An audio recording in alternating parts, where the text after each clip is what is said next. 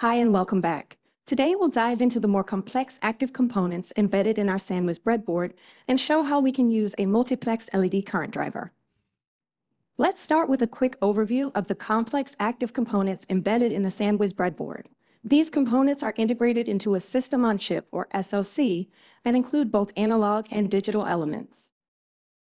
Sandwizz breadboard includes the following analog components: four op amps, four comparators, two programmable amplifiers, three digital to analog converters with selectable current or voltage output, various voltage references, and analog multiplexers.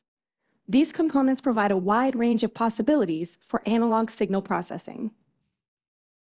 On the digital side, we have embedded a large programmable gate array, or PGA, which allows for the creation of numerous digital circuits.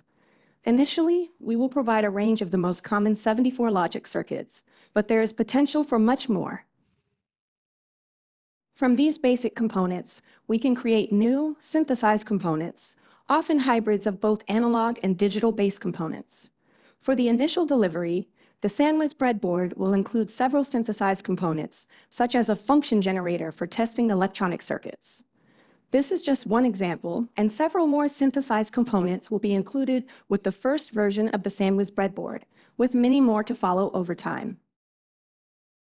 Another example of a synthesized component is the multiplexed LED current driver. Here's an example of how our multiplexed LED current driver can be used in KiCad. We start by opening KiCad schematics and selecting the component from the Sandwizz component library. Then we connect it to the LEDs. This makes setup easier and faster, as we don't need to worry about placing resistors in front of each LED. We are now ready to export the SPICE netlist for the circuit and let the Sandwizz wizard guide us on where to place the individual LEDs. Finally, we can test the circuit.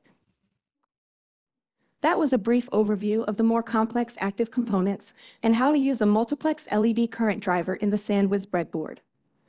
Microaware will continuously expand the portfolio of these synthesized components, and you can update the breadboard to the latest revision with the built-in bootloader.